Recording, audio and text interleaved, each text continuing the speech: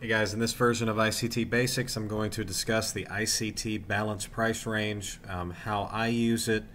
Although I'm, this is not going to be a perfect definition of how of how Michael teaches it. I'm going to teach you how I identify it and uh, how to use it the way that I use it. Okay, so how I identify an ICT Balance Price Range is as follows: I look for a BISI and a SIBI right across from one another, such as right here. Okay, this is a balanced price range. Okay. Between this BISI and this SIBI, do you see how they're right across from one another? Now, why is it balanced? Because the market was equally offered on the upside, on the buy side, and was equally offered on the sell side. Now, really, every time that the market is straight up and straight back down, more or less that is a balanced price range. But how I like to use it is I like it to be a BISI and a SIBI right across from one another and for the pattern really to look like a V or an inverted V. Okay, so like a V like this or uh, like a chevron, like up, up, straight up and straight back down. The balanced price range is a draw on price similar to an inefficiency but it's a very strong area of support and resistance. So basically, the market has traded efficiently there, and so the market does not really have a need when it goes to these balanced price ranges. When it goes to a balanced price range, uh, the the first thing that you want to look for is you want to look for the 50% of that and see whether price is respecting the 50%. Now, it could still turn around anywhere um, anywhere beyond that, so up up into uh, 50, 75, whatever. But you immediately want to see, okay, is price respecting the 50%? And you're going to find that to be the case a lot of the time. Guys, the balanced price range is, is fairly common, but it's very powerful. It's very powerful, and it can cause price to, um, if, if it's in a lot of balanced price ranges, basically the price can, can uh, bounce around a lot and not do very much, not go anywhere uh, because it's it's where the market has traded efficiently, right? It's been off. The market has offered itself both to the uh, upside and to the downside. So the balanced price range is a strong, strong area of support and resistance. It is a draw on price to the midway point, and it's a very strong area of support and resistance. How I like to identify the balanced price range is I'm looking for a BISI and then a SIBI right across from one another, such as you can see here you can see that price drew back up into it and then found resistance with it, uh, just above it, reading the candle closes. Now let's see if I can find a balanced price range on the, this would really be a bearish balanced price range, so you can just mark that with a negative.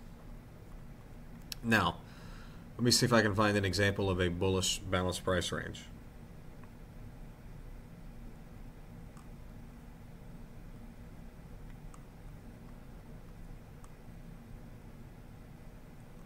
Okay.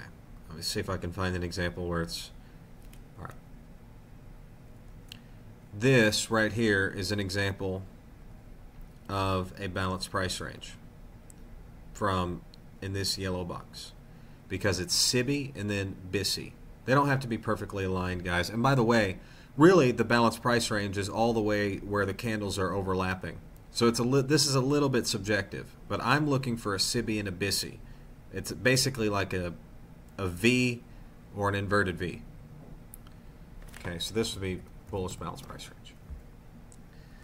Now notice that price forms a sell side imbalance, buy side inefficiency, forms a low, comes back higher, forms an order block, and then as price gets above this sell side imbalance, buy side inefficiency, notice that the market had been offered between these two price points equally on the sell side and equally to the buy side, meaning that the price had traded efficiently from point A to point B and then back from point B to point A. That's the basic idea of a balanced price range is that it is a range in which price is balanced to the sell side and to the buy side. Notice that as price comes back down, you see how it respects that 50%. Now you might be wondering, well, Reece, isn't that also an inverted fair value gap? Well, yes, it is but it's it's a very powerful version of an inverted fair value gap because that is a balanced price range. Okay, so guys, how I like to identify a balanced price range is very simple. I'm looking for a SIBI and a BISI right across from one another. Either it looks like a V or it looks like an inverted V. That's how I identify it. And it's an area in which price has been offered equally to the buy side and immediate. Basically, it should be pretty immediate, right? Like right back, uh, straight up, and then straight back down. When price comes into that balanced price range, it is going to be a very strong resistant or support. It's going to be very strong repellent to price. Why? Because price doesn't really have a need and urgency to trade through it because the price had traded efficiently there. So, the balanced price range, it's again, as with any of the ICT patterns, they're fairly common.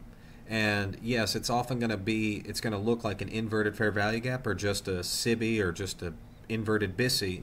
But it's more powerful than that because it's both of them right across from one another. So it's really the market had been equally offered to both the buy side and the sell side. And guys, it, it can really act like a brick wall to price. I mean, these things, when you correctly identify a balanced price range, guys, it can be a real brick wall on price. Like price will get right up to that 50% or maybe a little bit higher and it will knock price right back in the other direction. So when you correctly identify a balanced price range, it's very powerful. It's a very powerful support and resistance.